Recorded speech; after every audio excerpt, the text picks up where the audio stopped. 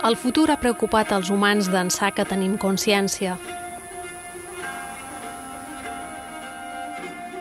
El futur no és una cosa construïda, sinó que és una cosa que construïm des del present. Si el futur es construeix a partir de les decisions que es prenen avui en dia, podem albirar com seran les Illes Balears l'any 2050? Com podem incidir des del present per reformular el futur?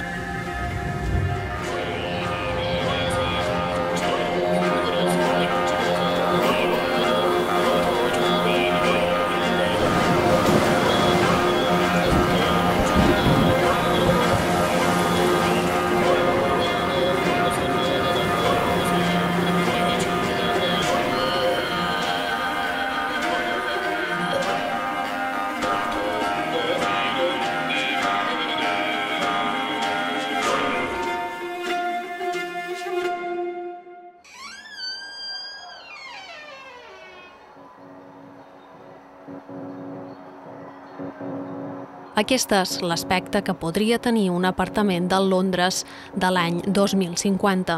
Quan hi entres, es nota a l'instant que la temperatura és elevada.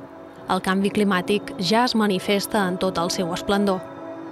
L'escassetat d'aliments és un fet i cada casa s'ha de cultivar els seus.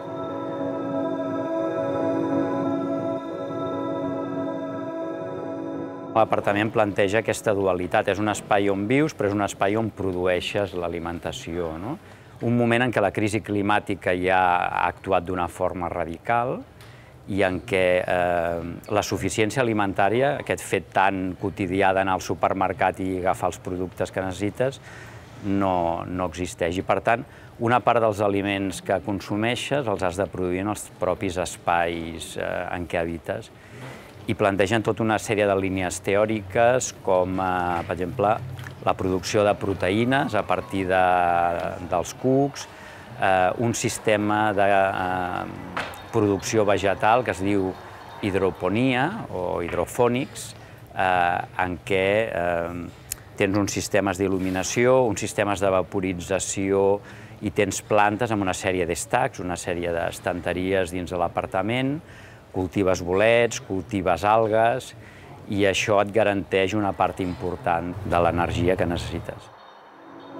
Aquesta recreació forma part de Després de la fi del món, una exposició que parla de la crisi climàtica i de com estem entrant en una nova era, l'era de l'antropocè, que marca un nou període geològic en què els éssers humans han canviat d'una forma radical el planeta.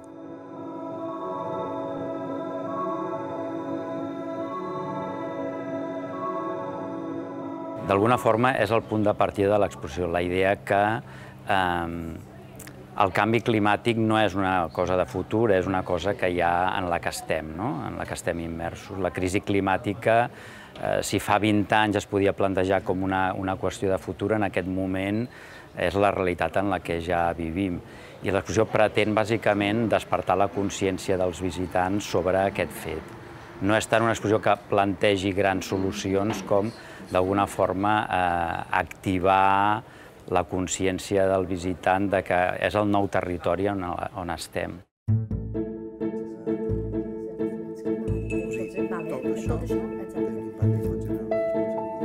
Damià Gomis és el director del Laboratori Interdisciplinar d'Investigació sobre el Canvi Climàtic de la UIB. Es tracta d'un grup que integra científics que estudien el canvi global. Estem treballant en alguns projectes estatals on sí s'està um, intentant quantificar no? quin seria l'impacte del nivell de la mà sobre ports, infraestructures costaneres, i aquí també doncs, alguns investigadors estem intentant quantificar aquelles pèrdues de benestar que un turista podria patir uh, precisament per una reducció de la platja, no? de l'amplada d'una platja. No? Estem parlant d'aquesta pèrdua de valor recreatiu. Existeixen estudis uh, aquí que també, que també hem fet fet que s'hi quantifiquen, per exemple, les pèrdues econòmiques, les pèrdues de benestar, eh, des d'un punt de vista monetari, que experimentarien els turistes que visiten l'Albufera de Mallorca eh, per un motiu recreatiu, doncs davant eh, d'una disminució de l'abundància i de la diversitat d'espècies, motivada precisament per l'escalfament global.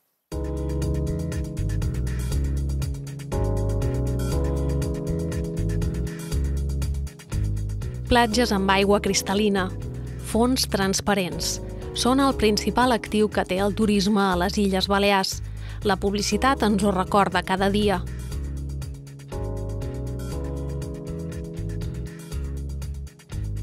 Platges paradisíaques amb aigües clares i translúcides.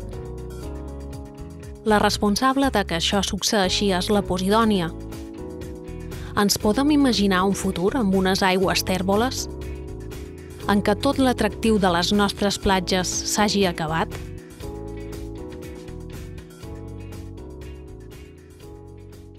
A dir, la Posidònia, els estudis mostren que eh, més que ser sensible a una pujada de la temperatura mitjana, el problema és que és sensible en els pics de temperatura. I fins ara, cada 10 o 15 anys, per dir un promig, la temperatura sobrepassava 28 graus durant una sèrie de temps en i això fa o això provoca una certa mortalitat a la Posidònia. El que abans eren successos eventuals, entre un i l'altre la planta es podia recuperar, en el futur, si es compleixen les previsions que manegem, passaran a ser successos recurrents. Recurrents vull dir anuals. I llavors és un tema preocupant perquè entre un succés i l'altre les praderies ja no tenen temps de, de recuperar-se i, i clar, la Posidònia és la base dels ecosistemes costaners, en la qual, si aquest tema, les previsions se compleixen, doncs podria ser probablement un dels impactes importants que hi hauria en els, en els ecosistemes marins. Home, la Posidònia és, són moltes coses, és una fàbrica d'arena, és, diguem, la causant, entre cometes, de la transparència de les aigües que tenim aquí, és la base d'un ecosistema molt ric per espècies, moltes espècies viuen en l'àmbit de la Posidònia, llavors si s'arribés a una extinció o una disminució significativa de les praderies de Posidònia, l'impacte sobre tots aquests factors que estem dient seria important, clar.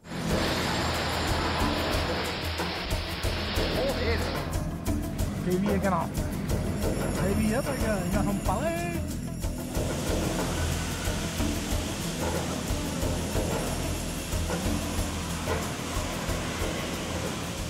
pics de temperatura extrems més freds i més càlids.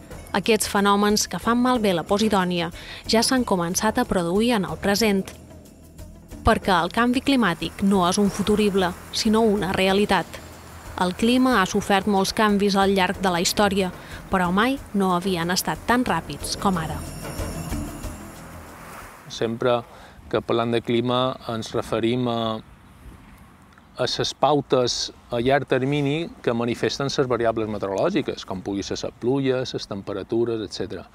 Però per la pròpia definició, no un fenomen singular i puntual no fa clima. Haurien d'examinar sèries molt llargues o sigui, la repetició o la recurrència o no, els canvis de freqüència d'aquests fenòmens per parlar de clima i sobretot de canvi climàtic. Hauríem de comparar períodes, per exemple, és tradicional fixar-se en un període de 30 anys per definir el clima. Per tant, sí té sentit veure com era el clima a Mallorca entre els anys 60 i 90 i com és del 90 cap al present. Això sí, però de lo que passi un nivell particular, una setmana particular, no podem extreure conclusions, per si mateixos. El que passa que sí, eh, aquests fenòmens se poden emmarcar dins els estudis de canvi climàtic que, per exemple, ens apunten que els episodis extrems sí que tendeixen a augmentar. A augmentar. Ja s'ha observat aquesta tendència i el model de simulació del clima de cara al futur apunten que, que aquestes situacions extremes augmentarien. Per tant, en si mateix un episodi no ens diu res, però dins un marc, no? un anàlisi més general, eh, seria esperable que, que augmentassin de freqüència. Fins i tot períodes molt freds de vent. És evident que, eh, mm, clar, depèn del tipus d'extrem. Podríem parlar d'ones de calor, aquestes clarament estan augmentant i seguiran augmentant. Els dies freds disminueixen dins un món més càlid, però això no, això no vol dir que els episodis de dies freds molt concentrats, el que anomenem una ona de fred, no, pugui, no puguin augmentar eh, en freqüència. La fusió dels gels continentals i la dilatació de l'aigua a causa de l'escalfament provocaran l'augment del nivell de la mà. Les primeres zones que s'inundaran seran les albuferes com aquesta.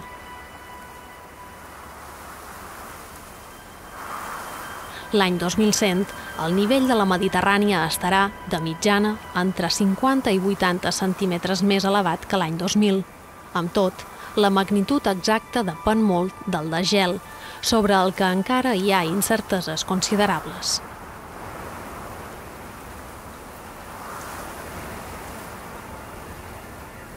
La mà està pujant de sorda d'uns 12 centímetres.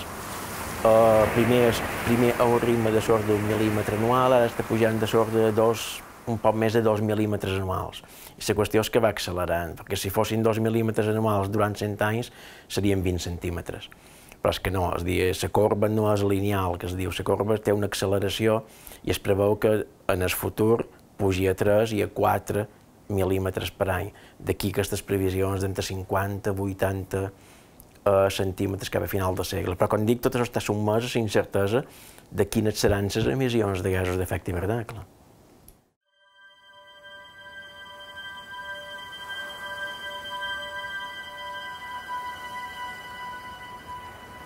Tot indica que el clima de la Terra serà, en conjunt, significativament més calent durant aquest segle XXI, especialment a les regions polars i a les regions subtropicals, com la Mediterrània.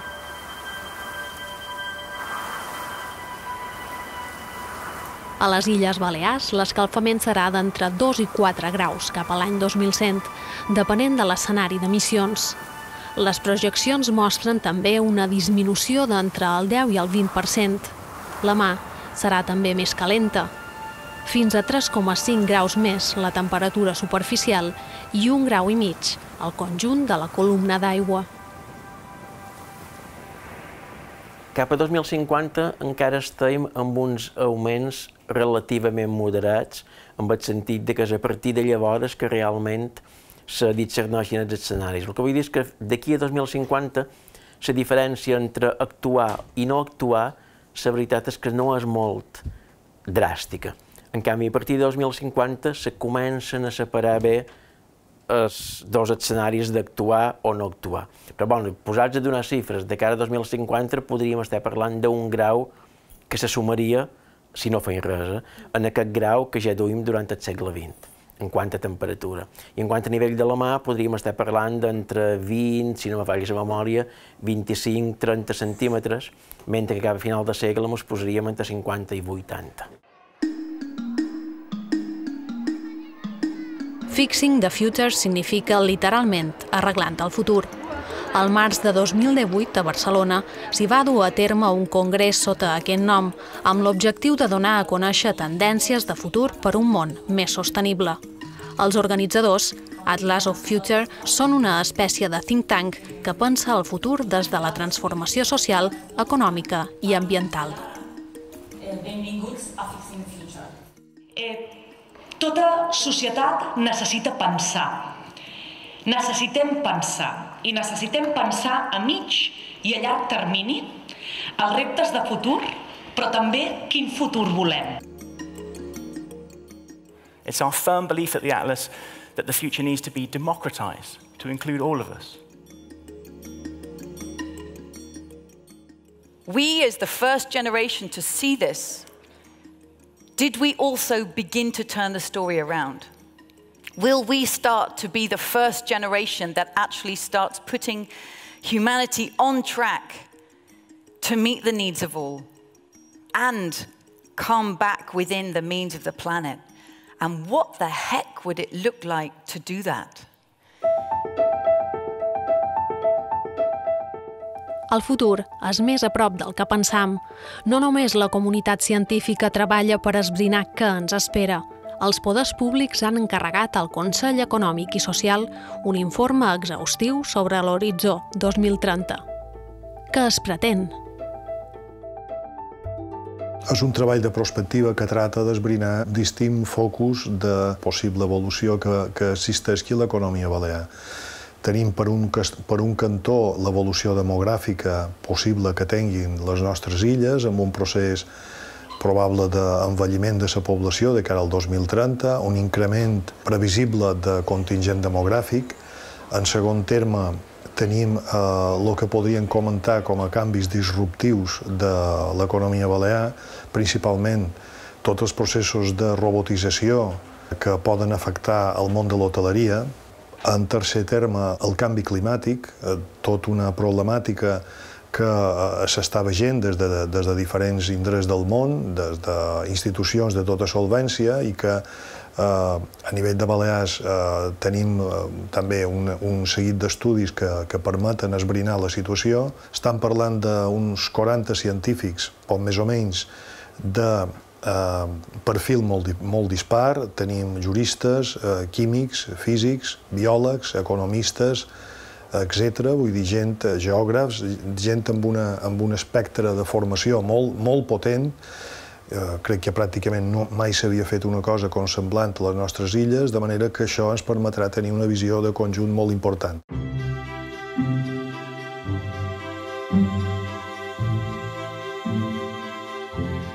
La població balear s'ha multiplicat per 3 en mig segle. L'any 1950 només hi havia 422.000 persones a les illes.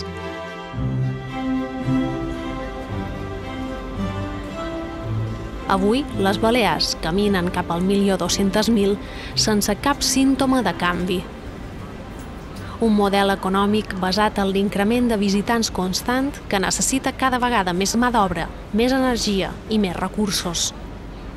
L'Institut d'Estadístiques Illes Balears, estat, des de eh, ja fa una bona partida d'anys, ve publicant aquest indicador de pressió humana. Eh? I tenim una sèrie ja molt llarga de la càrrega demogràfica diària que hi ha a cadascuna de les illes.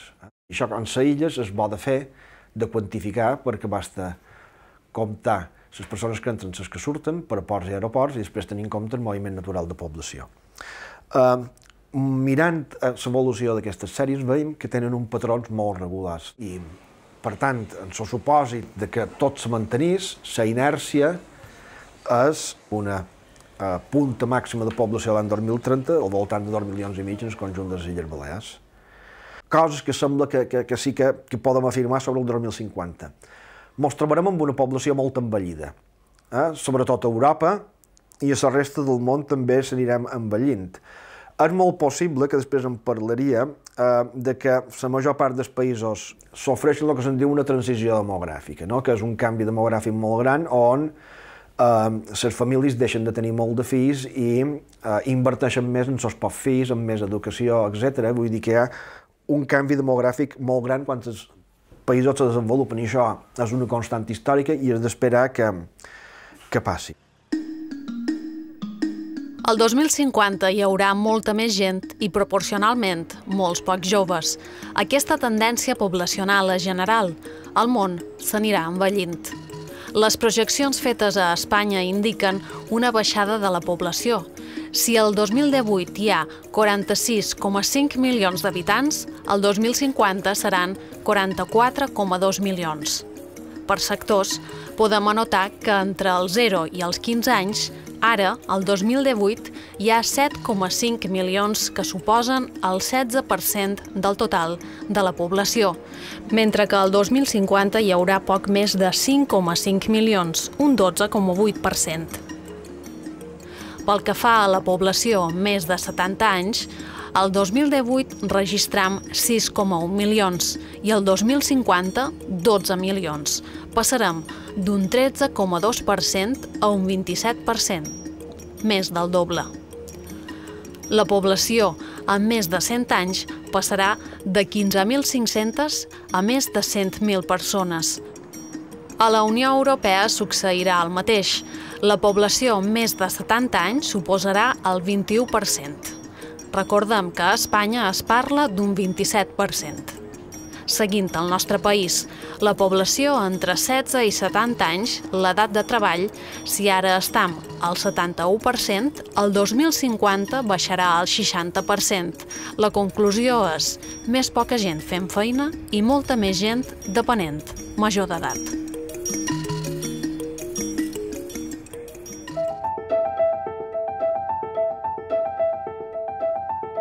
Aquest flux humà s'ha reflectit damunt el mapa illenc. Si observam el que ha passat amb el territori els darrers 50 anys, no és molt difícil dibuixar el que passarà a les properes dècades. El territori, diguéssim, quan agafes distància veus un, un mosaic territorial, que en el fons és paisatge. I aquest mosaic, d'una manera succinta, d'una manera així senzilla, bàsicament és agrícola forestal urbà. Aquest mosaic territorial és molt evident, en els anys 50 era molt, era molt clar. Per una banda tenies la part agrícola, no? que començava a les valls, on hi havia una mica d'hort, després o secà, després hi havia la part marjada, terreny que som havia guanyat a la part forestal, eh? i després començava la part forestal, que també era gestionada per treure combustible. Eh? Vull dir, per treure combustible, per fer carbó, a partir de, de la llenya d'usina, o inclús també per, per, per fer calç, no? en, ses branques de pi. I després hi havia el nucli urbà, molt definit i concentrat. Això amb el temps, diguéssim, se va difuminant, aquest espai. No? I aleshores, de cada, de cada vegada, la, la part forestal va guanyant terreny. Això és un procés que se diu uh, transició forestal. Arriba un moment en què espai, aquest espai agrícola marejat deixa de ser rendible per diferents circumstàncies eh, i l'espai forestal comença a recuperar aquest espai. I ens trobam en què, per una banda, diguéssim, els boscos van guanyant extensió, recuperen extensió, i per altra banda, el nucli urbà també se difumina, ja no és tan concentrat. Anem a viure la natura i tot queda una miqueta, una miqueta difuminat. I això el que fa és modificar aquest mosaic.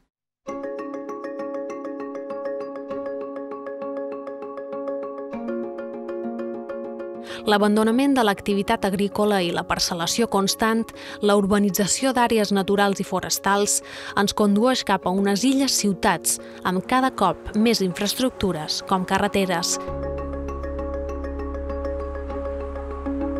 Seguirà creixent la trama urbana en detriment de la natura i els espais naturals? Saber com serà el territori d'aquí 30 anys depèn de... serà com nosaltres vulguem que sigui. I, amb això me refereix, per una banda, en el paradigma que considerem que és més, més idoni. I per paradigma, si m'ho anem cent anys enrere, eh, les zones humides, les aguferes, diguéssim, eren zones, diguéssim, perilloses en quant a eh, insalobres on, on podies agafar una malaltia. Aleshores, el paradigma d'aquell moment era de secar-les, també en criteris especulatius o per treure un rendiment agrícola. Actualment és posat en valor per seus valors naturalístics. Aleshores, hem de saber quin paradigma voldrem per d'aquí 30 anys. Volem un paisatge, aquest paisatge, en certa manera, dels nostres predins, aquests camps de malders, que t'hi sents bé des d'un punt de vista estètic.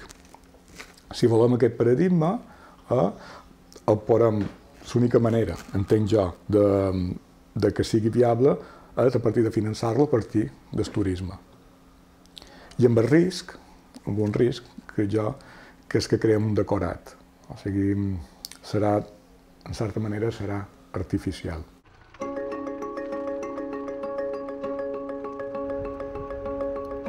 Els incendis forestals constitueixen una part del paisatge, ja que són un tret característic del clima mediterrani.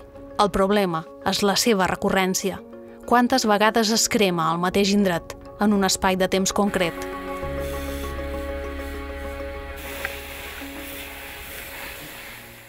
Els primers grans incendis se comencen a donar a la dècada dels anys 70, per la part de la Burguesa, la zona de Calvià. Bàsicament, a nivell d'Illes Balears, diguéssim, hi ha tres zones on els incendis són més reiteratius. Per una banda tens les muntanyes d'Artà, després el quadrant sud-oest de Mallorca, és a dir, la zona de Calvià i d'Andratx, i després tindríem els amunts a Eivissa. Si un pinar se cremàs cada 35 anys, el mateix pinar té la capacitat de regenerar-se. Ara, si aquest pinar se crema cada 5 anys, mai arriba a complir-se el procés de successió vegetal i no passam d'un carritxar. I lligat en aquest procés de transició forestal, si abans teníem un mosaic agrícola forestal ben definit, on els continus forestals no tenien grans extensions i tampoc tenien gran quantitat de combustible perquè eren gestionats, ara ens trobam en grans continus forestals i, a més, amb molt de combustible. I això ho juntam amb una política, diríem, de superació del foc, que dèiem, amb mecanismes d'extinció molt eficaços. dir, quan hi ha un avís de que qualcú fum, hi va avions, helicòpter, molla aigua i ho atura. Aquest conat, no passa d'un conat.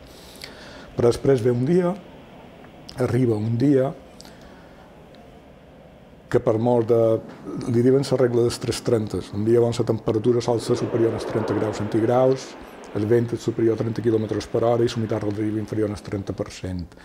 Si que arriba no s'arriba a temps, eh, aquell, aquell incendi se pot descontrolar i convertir-se en un gran incendi. I com té molt de continu forestal i molt de combustible, és pràcticament impossible la seva extinció. Al final, dependrà de que arribi la mà o que hi hagi un canvi de vent i que les circumstàncies meteorològiques ajudin. Tindrem molt pocs incendis, però aquells pocs que tindrem seran grans incendis. Aquesta és un poc la relació. Al final, aquest anàlisi que vaig fer, des dels anys 80, te n'adones que pràcticament el 80% de la superfície que s'ha cremat a les Illes Balears durant aquests 40 anys és resultat d'un pocs grans incendis.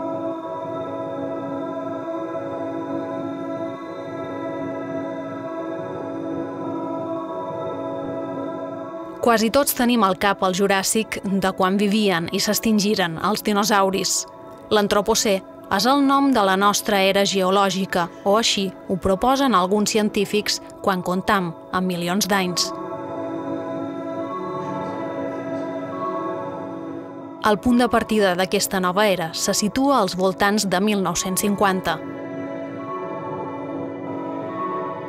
és el moment en què les restes de partícules radioactives alliberades en els assajos nuclears d'Hiroshima i Nagasaki s'escamparen arreu del planeta. Antropocè ve de la paraula grega anthropos, que significa home. Les activitats humanes han tingut el suficient impacte en el planeta per deixar sediments, tants que s'ha modificat l'escorça terrestre i s'han afegit ja nous elements que haurien tapat els estrats del període anterior, l'Holocè. Estam a un canvi de cicle en el comportament del planeta provocat pels humans, els seus plàstics, les emissions de gasos, els residus industrials, l'acidificació dels oceans o la desaparició de biodiversitat.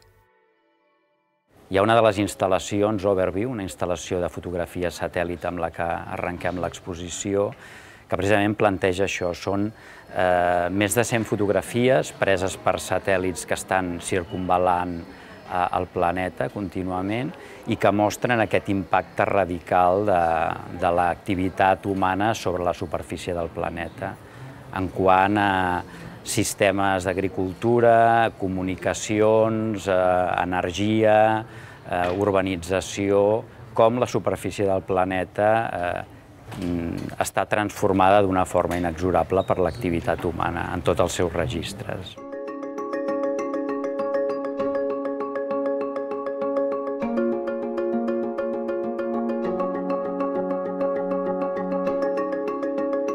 Precisament, la cimera de París significa el darrer acord dels principals líders mundials per frenar l'embestida del canvi climàtic, que estableix mesures concretes per a la reducció de les emissions a partir de 2020. El fracàs del protocol de Kyoto ens permet ser escèptics amb l'acord de París? Crec que des de ja fa 3, 4, 5 anys la cosa ha canviat molt.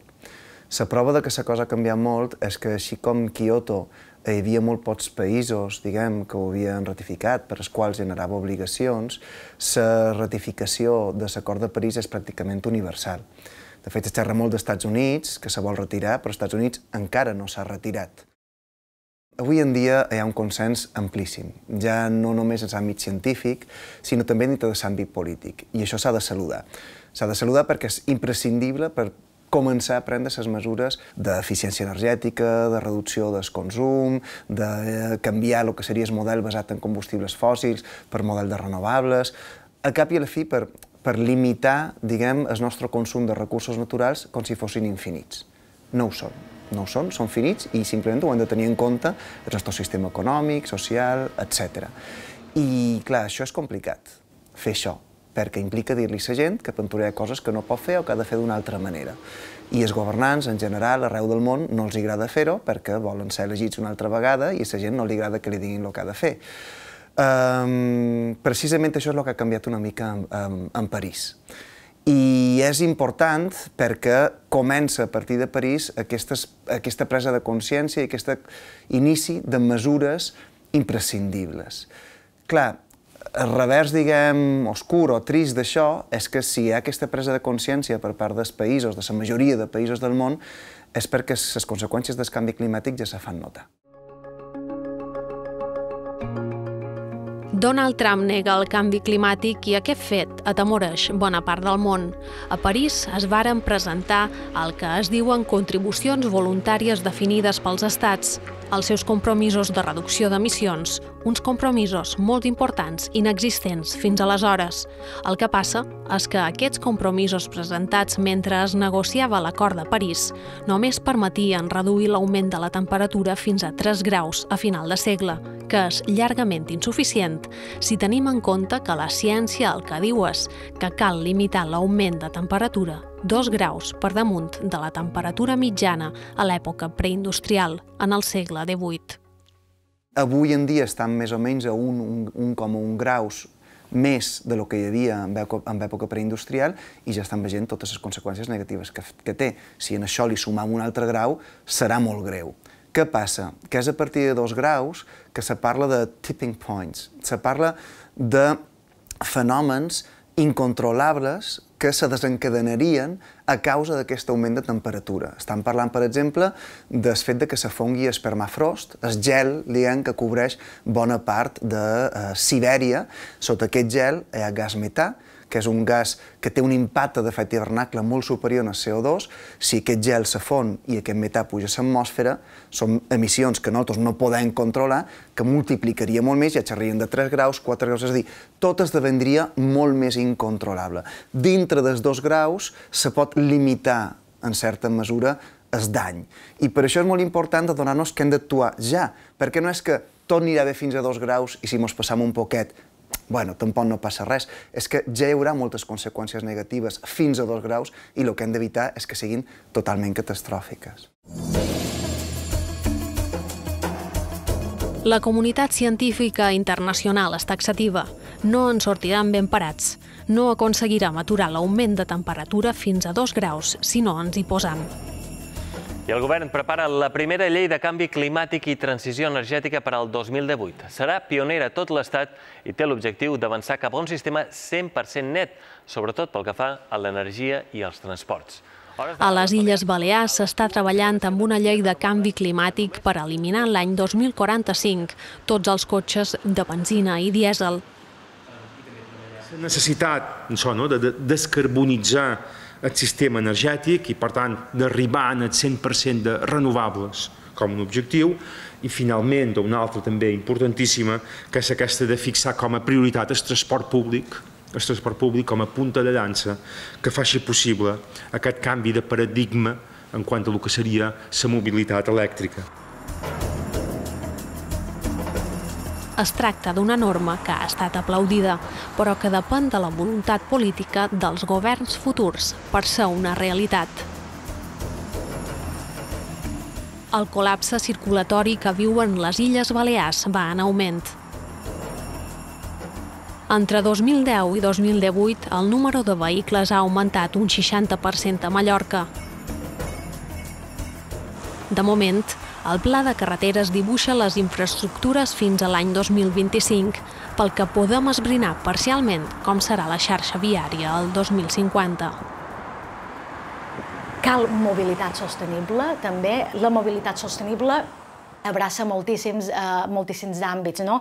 Parlam d'un millorar el transport públic no? amb majors freqüències eh, i un millor servei de bus, de tren. Eh? Anem a fer arribar el tren a més llocs del que actualment arriba i incrementem també les freqüències del tren. Um, utilitzem, promovem l'ús de la bicicleta, que també promovem que la gent camini més. Per tant, fem les ciutats més netes, més saludables, més verdes, que siguin atractives, perquè per 200-300 metres no hagin d'agafar el cotxe. No? També pensar en mobilitat sostenible és pensar també en planificació urbana, és a dir, quin model de creixement volem? Volem un model dispers? Els models dispersos eh, obliguen a la gent a haver d'agafar el cotxe, segurament, per transportar-se o desplaçar-se d'un lloc a l'altre. No? Per tant, també ens obliga la mobilitat sostenible a pensar en, en que tal vegada hauríem de canviar no? la manera en què planificam les nostres ciutats. No?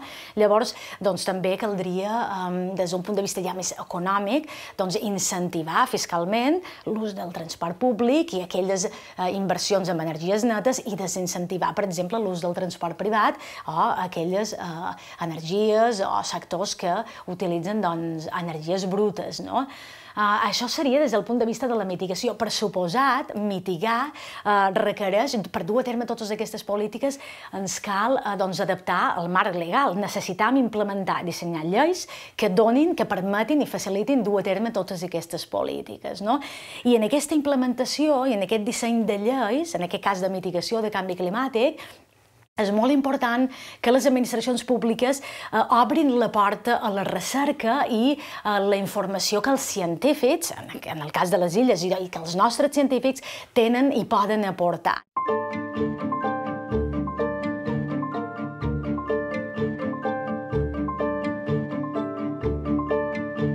Conceptes com economia circular o reptes com l'eliminació del plàstic es debaten amb una mirada optimista a Barcelona.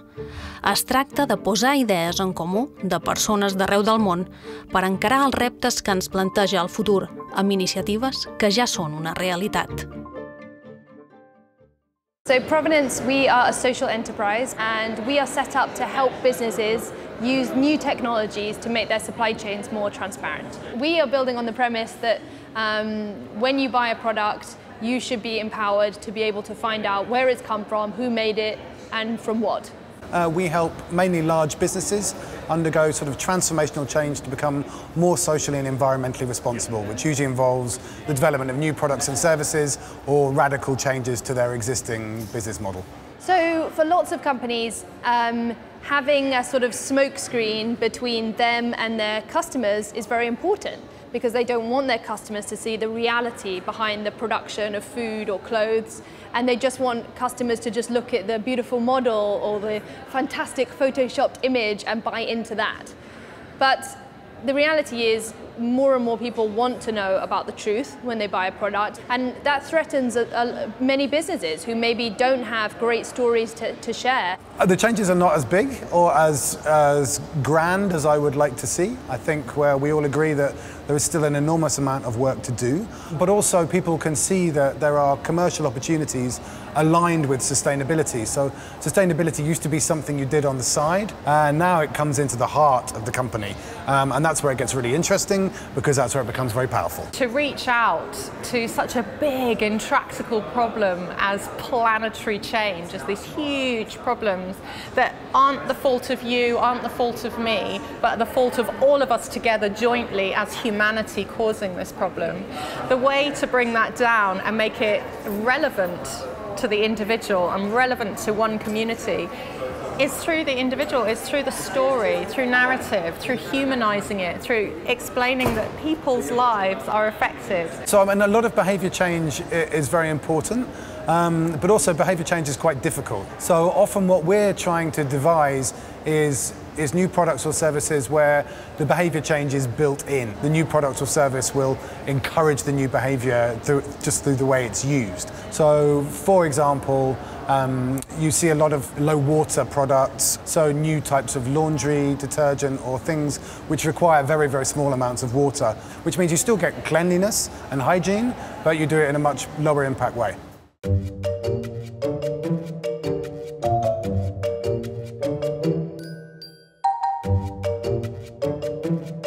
La robotització de determinats processos de treball ja no és un futurible. En molts àmbits ja funciona a ple rendiment i en d'altres els experts asseguren que és només qüestió de temps.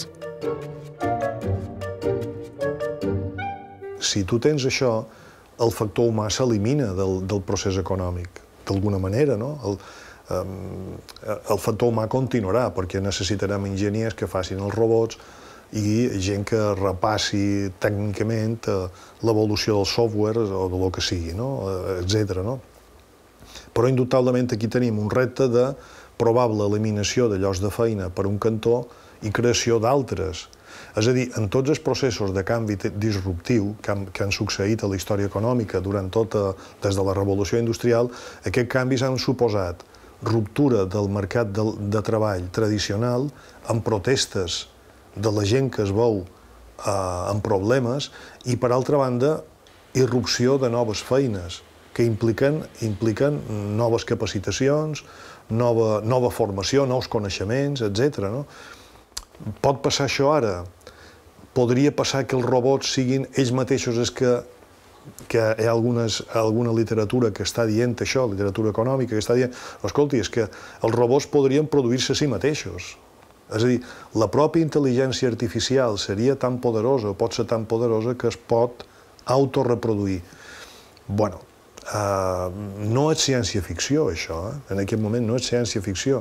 Ara hauríem de veure de quina forma el coneixement humà és capaç de, uh, diguem-ne, de contenir la intel·ligència artificial, que això també és un repte.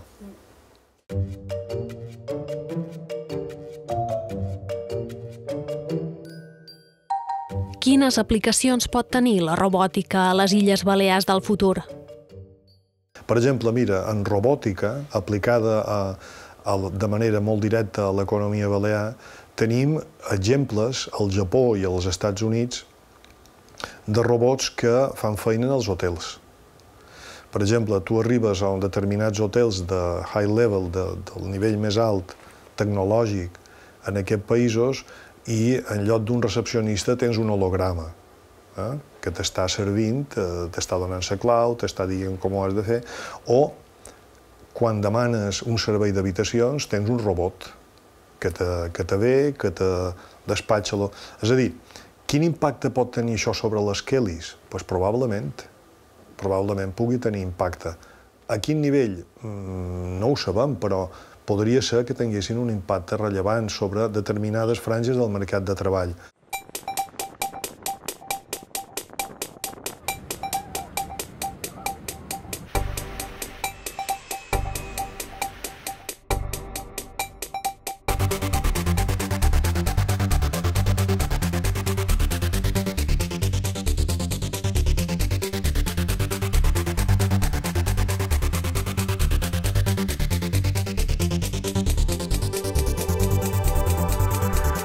Prop del 50% del producte interior brut de les Illes Balears prové estrictament del sector turístic.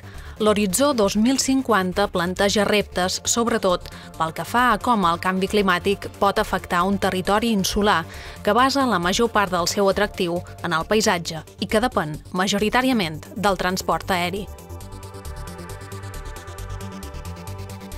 Uh, en termes econòmics, doncs, important, com ens podem adaptar?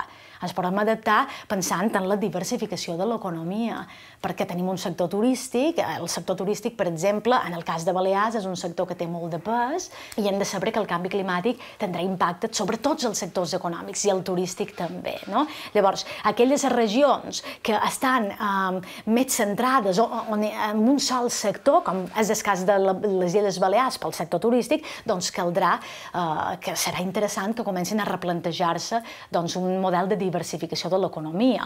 O, per exemple, també estic pensant en Balears, doncs, eh, intentar promoure sectors, no? com diversificar, doncs promovent sector, sectors que no depenin tant del transport de persones o mercaderies, no? perquè això és més combustible fàcil.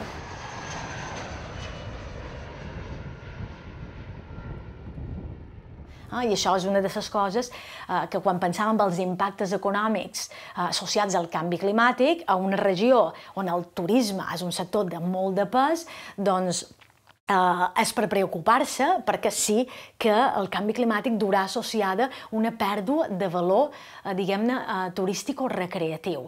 No? I això pot fer que turistes decideixin anar-se'n a, a altres regions. Per exemple, si el canvi climàtic du associat un increment de la temperatura i més onades de calor, el que tenim, i d'això també existeixen estudis, uh, uh, que mostren una redistribució potencial geogràfica dels turistes que cercaran regions situades a latituds més elevades, més fresques. No? Però no només això, és a dir, la temperatura pot provocar això, però com deia el cas de Salbufera, davant una degradació dels ecosistemes, eh, eh, doncs els turistes també poden eh, veure, experimentar una pèrdua de valor recreatiu. No? Ara parlant de, dels turismes. Evidentment, els residents també pateixen tots aquests efectes. No? Um, el canvi climàtic també du associat, per exemple, si pensam en una major freqüència de fenòmens atmosfèrics adversos, no? aquests uh, fenòmens degradaran les infraestructures costaneres. O l'augment de, de pujada de, l'augment perdó, del nivell de la mà, això durà amb una major erosió de la costa i inundacions costaneres. Tot això durà associat a una pèrdua de valor recreatiu. Pot fer que els turistes decideixin doncs, visitar altres regions. No? Més coses, els impactes sobre la salut també el canvi climàtic du associats impactes sobre la salut, no? I aquests impactes sobre la salut, doncs, que posaran més riscos sobre la salut, també els turistes estaran a la White i podran decidir, doncs, anar-se'n a una altra banda, no?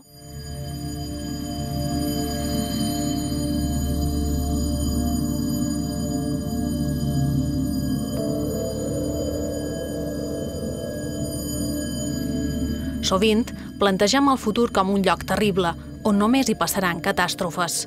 La periodista Gaia Vins està convençuda que també cal millorar la manera com expliquem el futur. Okay, so I went traveling for two and a half years around mainly the developing world, mainly the global south, but all around the world. And my big question was, how are we changing the planet?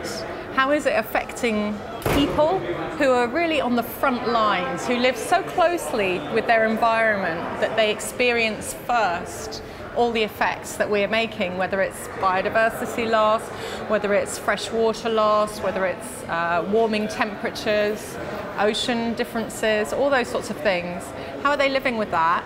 And what are they doing to change it? How is it changing their lives? We live on an unusual planet, beautiful planet, and the most obvious signature of that is it's blue, it's the blue dot. And that's because it has water, and water is vital to life as we know it in the universe. We all evolved in the oceans. We've since come out of the oceans and we now rely entirely on fresh water for our survival. That's human survival. And fresh water just makes up a tiny, tiny percentage, a tiny fraction of the amount of water on our planet. The problem is not that there isn't enough water on the planet. This is an experiment which I don't really have time to talk to you about much, but what it is doing is it is harvesting the fog that is coming off the coast, and they're doing it not just in Peru, they're also doing it further down the coast in Chile, and they're also doing it across the Namibian coast as well. It harvests the fog water. These are experimental fog nets, and underneath, the water drips down, and then they capture it, and they're going to try to create a forest, to try to water saplings with this fog water. And the idea is that they're creating an entirely new ecosystem, and this new ecosystem will be self-generating. You heard um, Kate Rayworth talking earlier about regenerative systems, about this sort of idea of a circular economy. This is the circular natural economy. The water is harvested from this. It will build saplings. It will create a forest, and the forest itself will retain the moisture and feed those homes.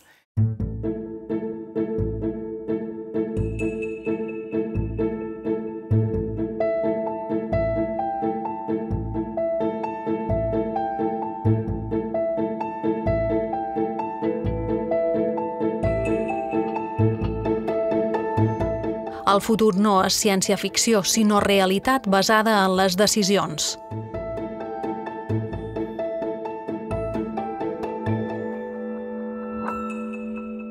No podem saber com seran les Illes Balears del 2050, però el que pot ser hem de plantejar és que anem cap a una altra manera de fer les coses, perquè no tenim més remei, però també per fer-les d'una manera més justa i millor del que s'han fet fins ara. El business as usual, el seguir com, com fins ara, es planteja com una no solució, no és cap sortida. Eh, no només hem de buscar solucions a la nostra activitat quotidiana per eh, utilitzar menys energia o energies netes, menys aigua, menys recursos, eh, una agricultura de proximitat. Hem de canviar d'una forma radical eh, el nostre sistema. Per fer front a aquesta crisi climàtica, que és la crisi més radical a, a la que s'enfronta l'espècie humana des dels seus orígens, necessitem un canvi de paradigma, un canvi en quant a, als nostres eh, sistemes econòmics, als sistemes socials, fins i tot a l'agenda la, política i als sistemes polítics. A dia d'avui, si una cosa està clara és que el canvi climàtic ja és inevitable. El que sí està en les nostres mans és eh, modular un poc la seva amplitud, diguem. Per tant, totes les institucions han d'actuar en, dues, en dues direccions. Una és la de mitigació. Mitigar vol dir intentar reduir el màxim possible les emissions de gasos d'efecte hivernacle per modular cap a la baixa el canvi climàtic. I la segona direcció, ja inevitable, és l'adaptació. És dir, estem dient que una pujada de temperatura, una pujada a nivell de la mar, per dir dos, dos exemples, són inevitables, per tant, també hi ha que haurà que afrontar estratègies d'adaptació en aquests canvis que ens tocarà, que tocarà viure. Haurien de pensar en diversificar cap a sectors que són, per exemple, poc dependents um, del transport de persones i mercaderies. I això ens du, per exemple, a pensar en una economia molt més local. No? Eh, si, o si pensam, per exemple, en l'agricultura, doncs anem a pensar en, en agricultura i ramaderia ecològiques, productes de quilòmetre zero. Si pensam en les renovables, en la necessitat d'invertir en renovables, doncs uh, les renovables uh, poden generar moltíssims de llocs de treballs, inclús més del que actualment existeixen eh, relacionats a les energies brutes, no? i apostar per l'educació, per la ciència, per la recerca, és a dir, totes aquelles, hi ha moltíssimes activitats en les quals eh, podem eh, basar la nostra economia que siguin molt més amigables no? de cap al medi ambient. De la mateixa manera que parlaven d'una evolució de presa de consciència dels problemes del canvi climàtic en els governs des de fa això, dos, tres, quatre anys, aquesta presa de consciència és també cada vegada més estesa per la població. Mm?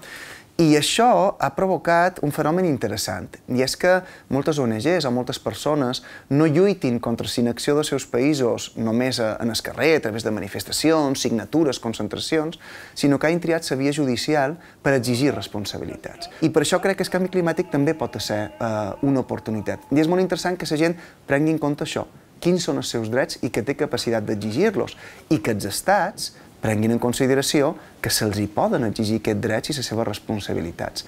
I no només els estats, sinó també les empreses. I això és molt positiu i demostra que cal seguir aquesta lluita perquè saboran els fruits.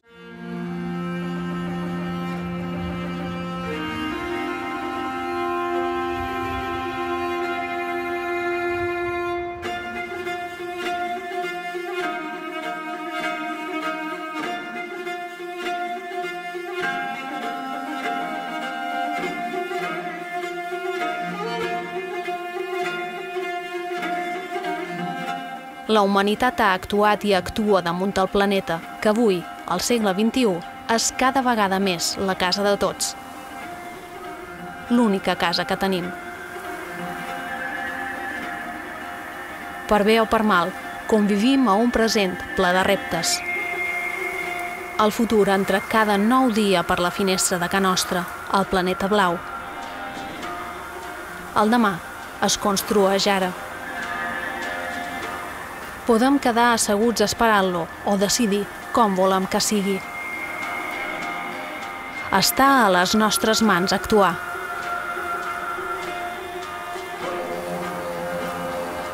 Algú ha deixat dit i escrit. M'interessa el futur perquè és el lloc on passaré la resta de la meva vida.